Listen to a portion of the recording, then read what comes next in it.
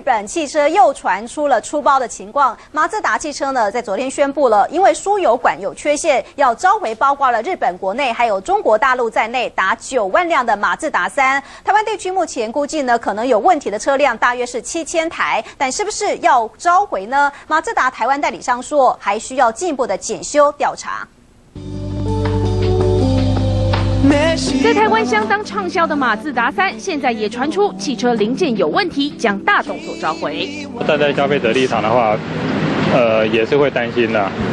因为马三这个车子目前在台湾来讲卖的相当的好。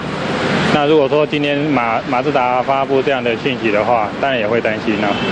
根据了解，这些汽车是在二零零六年一月至二零零九年三月出厂，光是在日本和中国大陆总共就有九万辆。台湾部分则是在二零零四年进口台湾，但目前已经停产。不过初步估计有七千辆车可能会召回，主要原因就出在自动变速箱的油管与散热器塑胶片产生干涉，因此有漏油的可能性。针对日本所在的这个呃日本的一个 Mazda 的车系进行这个啊。Recall 的一个动作，嗯，啊，那这个车子主要是它的一个啊变速箱油管，它会比较接近我们的一个这个冷气散热的一个一个塑胶片的旁边，嗯，所以在久的时候产生干涉，会影响到它的一个这个正常运作，嗯，那我们会进行这个部分进行做一个。